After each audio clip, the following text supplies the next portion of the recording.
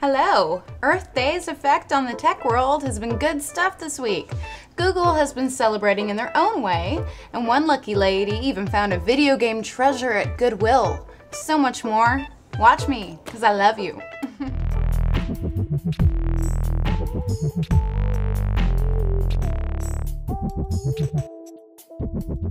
Have you guys noticed Google's homepage has a specialized logo when it's an important holiday? Well, Google Doodle honored Earth Day this week. Yep, Monday the 22nd was our Mother Earth's Day. Very important day to hug trees and eat fast food hamburgers. no. Anyways, it was cute. There were all different kinds of sketches of the Earth's bounty, including caves, fish, mountains, animals, flowers, etc. Speaking of the Earth, reusing items is good for the planet, right? Well, what if I told you someone recently walked into a Goodwill and made the thrift store score that will make your head do this? One lucky lady found an ultra rare NES video game for $7.99 at Goodwill. One man's trash, that's another man's come up. Thank your granddad for donating that. Sorry, had to. This game is Stadium Events, and its rarity comes from its limited release before Nintendo recalled and repackaged it as World Class Track Meet. Just a few copies of this game has been out there on eBay and for a ton. Like back in 2011 when one sold for almost $23,000. You guys, I printed this out. I have to show you this. Okay, I don't know if you can see this. $75,000 for a game for the same game this lady found. Not how much she's getting for it though. But cool. collect. Keep collecting, y'all. I don't care if you're a nerd, collect.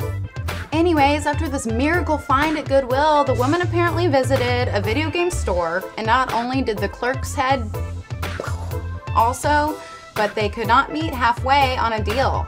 Only catch is a small snag on the wrapping of the game, but regardless, her profit is expected to be around $10,000. Envy! Google recently announced they will be partnering with Duke Energy in efforts to push renewable energy development. What would this do? Provide incentive to electrical providers such as Duke to commit more rapidly in clean energy. Yay! Even cooler, this could allow Google's data centers to go green. Apple might hop on board too.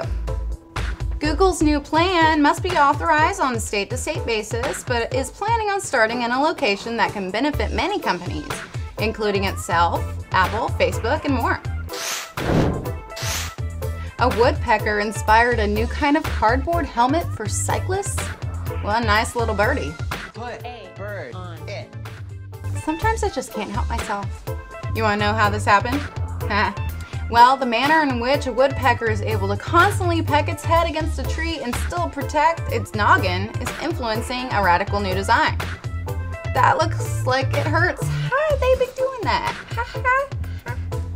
These birds headbang like 12,000 times a day at a speed of 6 to 7 milliseconds, and their brains don't suffer damage. Like, they still know their ABCs and stuff.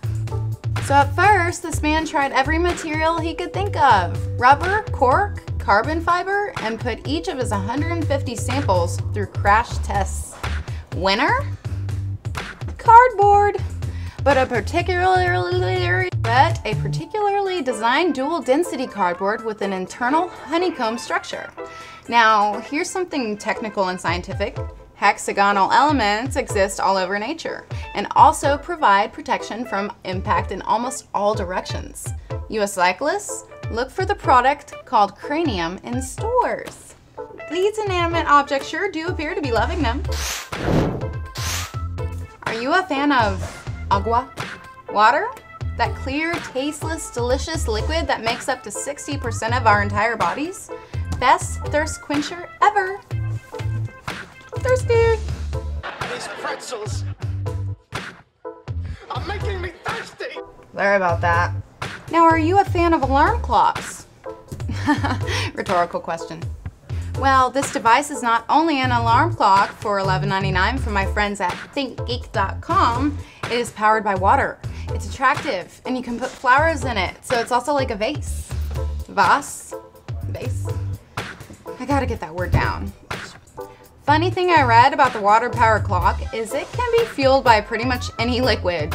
Coffee, soda, beer, or balls. Yes, balls. Drawback. Flowers aren't included and neither are the batteries or the water. Good luck finding any of those necessities anywhere. Last topic is my fave. For so many reasons, so I will start by asking myself a question. Daria, what's up? Would you drink from a water bottle made of raw sewage? Uh, totally. That's funny because I know she's not kidding. Have you seen the amazing things they can do with poo? that was unnecessary, sorry You can even turn it into clean water. Although it being a rather unappetizing image, thanks to bioplastics, raw sewage transforming into plastics are becoming real. In America, we deposit 7 million tons of dry, solid sewage stuff every year, obviously, so how can it not be a useful technological product? Huh? There are ample amounts of carbon-rich waste that is now in use for the bioplastics industry tech turning waste into plastics. So cool. I mean, look at all those bottles.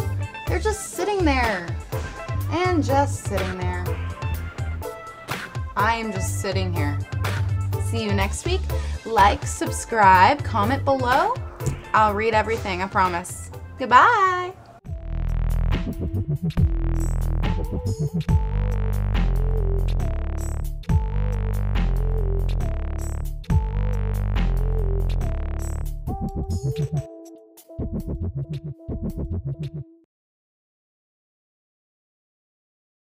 With poo?